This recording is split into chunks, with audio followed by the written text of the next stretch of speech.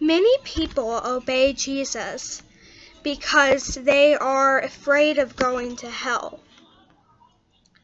Many people obey Jesus because they are looking forward to something good in life. They are looking forward to fun. They are looking forward to happiness. And they are looking forward to absolute peace and joy all of the time. They are only looking at the good parts of life. And they are only worried about not going to a fiery pit when they die. There is a problem with this because when you follow Jesus, it shouldn't be a duty. Of course, it is a duty, but it shouldn't be like a duty to you. It should be your heart condition. You should serve Jesus for the main reason. This is the main reason you should serve Jesus because you love him and you don't want to disappoint him and you don't want to grieve him. This is why I serve Jesus. I do not want to disappoint him. I want to um I want to spread his word. I want to um show myself approved to him. I want to seek him. I want to pray to him. I want to show my show him that I love him so dearly. And this is why I am a Christian. It is not because it is not because I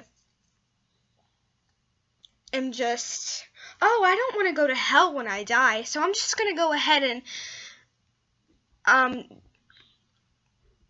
follow God, you know, follow his teachings, pray a few times a day, use uh, use the same vain repetitions and just read a chapter of my Bible. I don't even mind taking in what it said.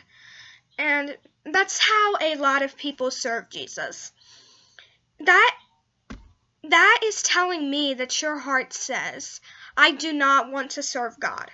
The only reason that I am is because I do not want to go to hell. This grieves me. It's not about not going to hell. It's about a matter of loving God. It's about a matter of not grieving God. God's wish is for no one to perish. God loves you. God wants you and Him to be in a re relationship. And I know it may sound weird to you, but everybody needs a relationship with God.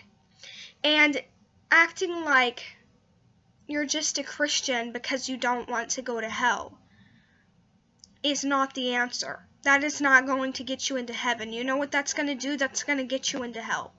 You shouldn't have to act like it's a duty to be a Christian.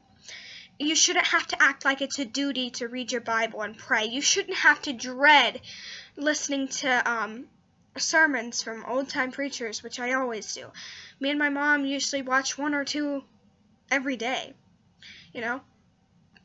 And, um, it shouldn't have to be a duty to seek God. You should want to seek God because you want to get closer to Him. That is why I seek God and I pray to Him and I cry out to Him because I have a true heart and I want to seek Him and I want to give Him my heart because I love Him and I want to get closer to Him. Not because I feel like it's a duty, because I don't want to go to hell. That is the problem with a lot of people today. They just act like it's a duty because they just don't want to go to hell. And trust me, this is just a fair warning to all of you. This is not going to get you into heaven. It's going to get you into hell. Because God can see your heart, and it is a heart condition. It's not a matter it's not a matter of life and life and death. It should be a matter of it, it should be a matter of love and it shouldn't be a matter of life and death. It should be a matter of love and duties. That's exactly what it should be. Are you going to choose love or are you going to choose duties?